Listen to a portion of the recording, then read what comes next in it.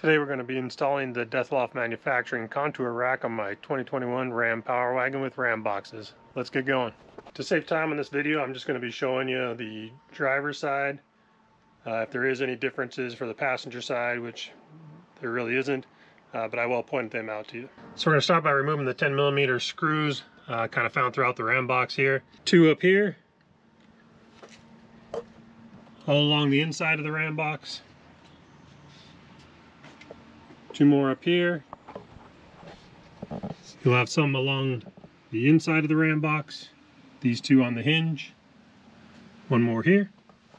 Then you'll have some 10 millimeter screws down here, here, two here, and two more here, and two down in here.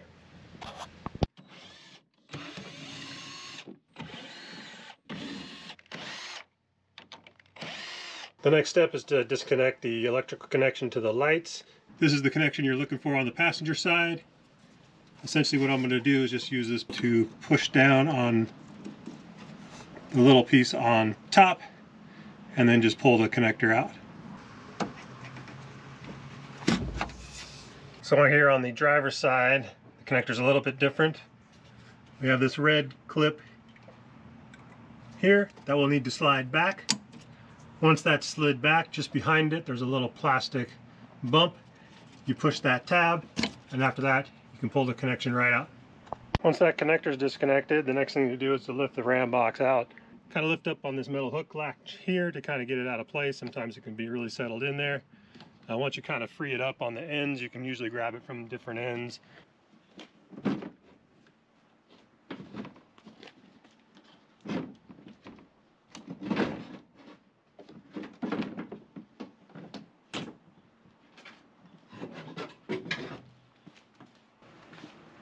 Piece of cake. The next thing we need to do is remove the tail lights. To do that, there's some T25 screws that will need to be taken out.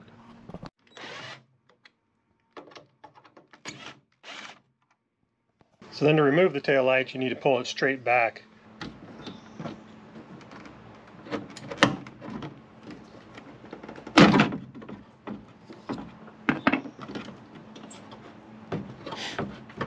Once you get the tail light out, there'll be this connector here that you can either just hang the tail light completely out of the way, or if you want to, we can disconnect this connector by popping, popping this red tab out of the way. Once that red tab's undone, what I usually do is just put a little clip tool underneath here to lift up the tab. Sorry, it's hard to see, and then you can just pop it right out. Hopefully you can see the little tab in there that I'm lifting up. So the next step is to remove these corner caps that are found on the ends of the bed on every four corners. It's going to be very difficult for me to show you this just given the workspace, so I've gone ahead and popped the passenger side rear ones off. If you don't want to keep these and don't plan on reusing them, you can just pry on them, pop them off. You might break these clips. Otherwise, what I've been doing, and maybe there's a better way to do this, is I'll just stick a flathead down underneath and a little pry tool around the edges, prying up. And I'll push on these clips in each location just to get them to pop up. And after that, you can uh, release them without breaking these tabs off. The next thing after removing the bed caps is to get the main hoop put in place on the front of the truck. Uh, so what we'll do is we'll just kind of get the bolts, uh, four on this side, four on the other side. We'll get those roughly in place and kind of snug them down and get the bar kind of roughly positioned. And we'll fine tune stuff at the end.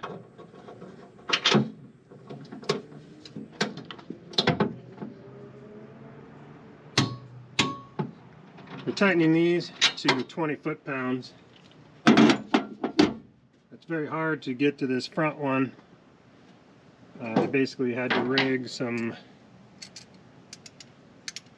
very long extensions and go in from underneath the truck and hold it up there while I had somebody else secure the bolt up top to actually be able to torque it with the torque wrench. Took a little while, but eventually we got it. Once the front hoop is secure, next we're going to put in this side rail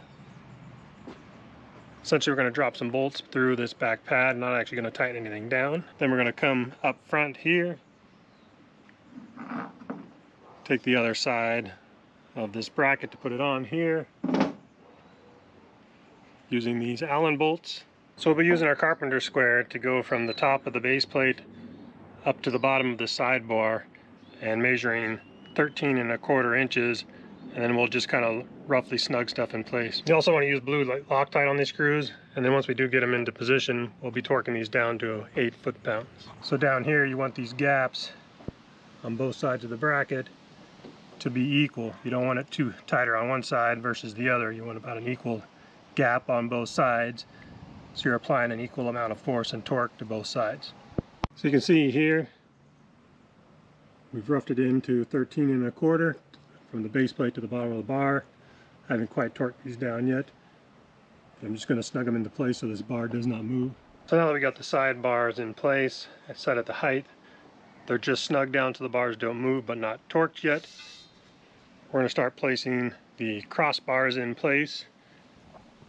Once we get those in place and positioned, then we'll go back and start torquing down the sidebars up front as well as the sidebars in the back to the 20 foot-pounds, 8 foot-pounds up front. Now just like attaching the sidebar to the front hoop, you want to avoid clocking these brackets. Again, you want them equal distance on both sides as you snug them down. What I recommend doing is leaving it pretty loose to begin with, getting all four started. That way you can avoid cross-threading and everything as you're getting the bolts in. And then you can just start snugging it down equally on all sides. In my case, I'm moving on to a next step to install a front runner rack. So I'm not going to be torquing these down because I do need to move these around a little bit to get the rack uh, brackets in position. Once you have the crossbars where you need them, we're going to go ahead and torque down these rear base plates. Again, just like the front, it's 20 foot-pounds. So once you've torqued these back ones down to 20 foot-pounds, you're basically done. Double check your 20 foot-pounds here as well. Make sure you're at 8 foot-pounds on these sidebars. Check your torque at 5 foot-pounds on these crossbars. And that's it for the contour rack. After that, it's basically doing everything in reverse. Putting the ram boxes back in, recabling them up. I got to move on because I'm doing a front runner back rack on mine, so I haven't torqued down these crossbars yet because I got to get everything into position. So I'm going to move on to that. So now we're going to be installing the front runner rack onto the Dethloff Manufacturing contour rack using the Dethloff Manufacturing mounts that are still here in the package. What you want to do is have your front runner tray laying top down onto some kind of blanket to keep scratching it up. What we're going to do is unpackage the mounts. We'll lay them out on the rack to get them kind of in position and then start securing things. So once you got your crossbars laid out, what we're going to start doing is sliding the M8 bolts into the opening on your front runner tray and locking the crossbars into position. So what I did is I laid these mounts in place. I then have just kind of secured it tight enough to keep these bars from moving around uh, on the ends. Then I've left the ones in the middle with just bolts kind of threaded and ready to go. That way I can make any final adjustments and then tighten everything down when it's up there. For my crossbars, these bolts are left loose. I'm gonna have to make some adjustments but I'm starting roughly about 15 inches from this front hoop to here. I think that'll put me right behind the second slat. And then from the center of this one to the center of the back one is 48 inches. That's going to move it back uh, probably about two slats in. And we'll make some fine tuning once we get the rack up here. One thing I noticed I forgot to mention while editing this video was the size of the front runner tray. Uh, mine's 62 inches wide by 77 inches long. So where the Dethloff manufacturing mounts go, as well as the spacing of the crossbars on the rack, will all be relative to the size of your front runner tray. Uh, I'll show some footage at the end that kind of shows you how this tray sits on the truck and what it looks like. We'll attach these to the bottom. We'll get these put in place. We'll make some fine tuning adjustments uh, front to back with both the crossbars. There's also a little slot in these screws here so you have a little bit of an adjustment room for some fine tuning. Once we get these brackets put in here to secure the rack, we can start locking everything down. So to get my left-right centering, I just used a square up on one of the brackets, moved it over until it touches the inside of the bar. Then I would measure my gap up top. It's roughly a half inch on both sides for me to the center of the rack.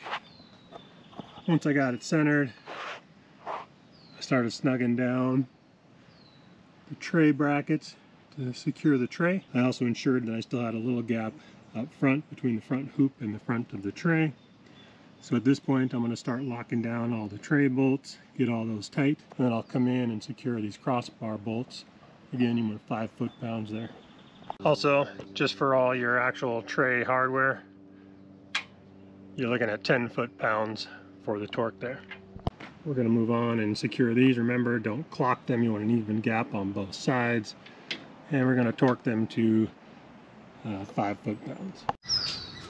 Once you got everything torqued down, there it is. Dethloff Manufacturing Contour Rack. Your RAM with RAM boxes. Using the Dethloff Manufacturing mounts. secure the front runner tray.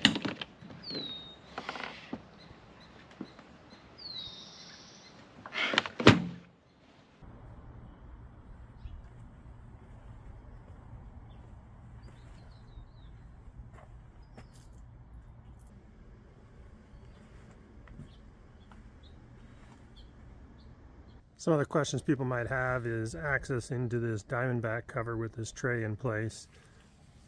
The cover will touch the top of the tray, of course, uh, but you still do have access here. I store less critical items, those narrow, longer items, folding chairs, folding tables, things like that. So you still have plenty of access to the back of the bed for things like those.